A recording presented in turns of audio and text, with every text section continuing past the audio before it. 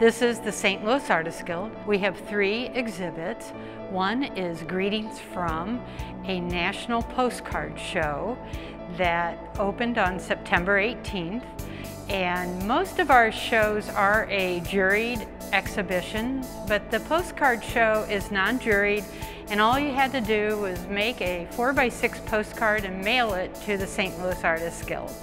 We chose Greetings From because when we first planned the show, we were thinking of summer and when everybody traveled and sent postcards to one another.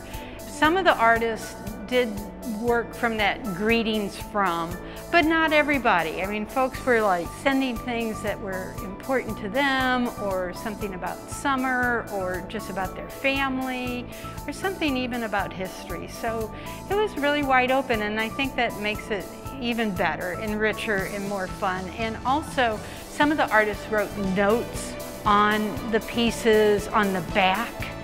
So we have it set up that pieces that can be handled are on the shelf and the viewer is welcome to pick up the work. It's very interactive. You get to actually touch the art and it's so reasonably priced, anyone can purchase a piece. We also have two solo exhibitions right now. One is by Alex Paradowski, Life Squared. And Alex makes paper, but he makes little cubes of paper and then paints the cubes. So when you're up close to Alex's work, the work is extremely abstract. You know, you wouldn't even know what you're looking at. You're looking at these wonderful colors on a grid, but when you step back, he has chosen the pixels and their colors so well and the lights and darks that they take this form of this just beautiful realism. Our second solo exhibition is by Marceline Saphian and Marceline mostly works abstract.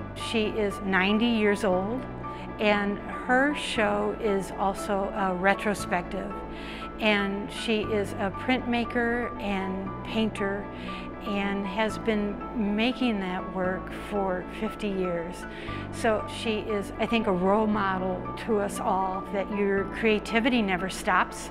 Even into your later years in life, you are still a creative person.